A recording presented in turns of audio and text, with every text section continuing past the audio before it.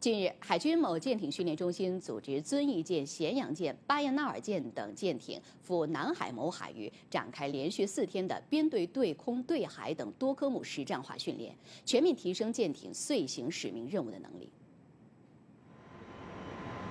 已静止，目标航向东方五，航速六节。编队刚抵达某海域，主炮对海射击训练迅即展开。巴彦淖尔舰率先发现海面目标。各舰组成单纵队，占领射击阵位，进行集火打击。目标右前就是这个，距离三八列。由于海区气象较差，靶标时隐时现，一直难以稳定跟踪。巴彦淖尔舰光电号手杨顺峰沉着应对，及时调整跟踪方式。试射一组四发，试射一组四发，四发。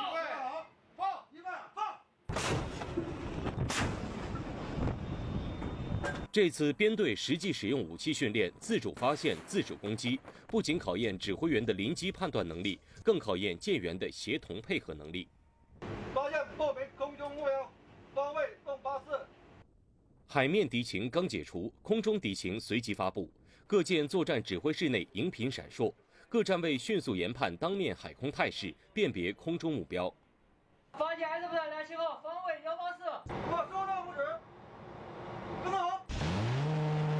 在连续四天的演练中，舰艇编队分别完成对海突击、联合防空、联合反潜等数十个科目的训练。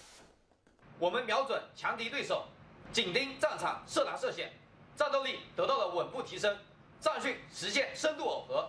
下一步，我们将继续紧扣训练短板弱项，紧贴作战关键节点，积极探索战斗力生成模式，不断提升部队打赢能力。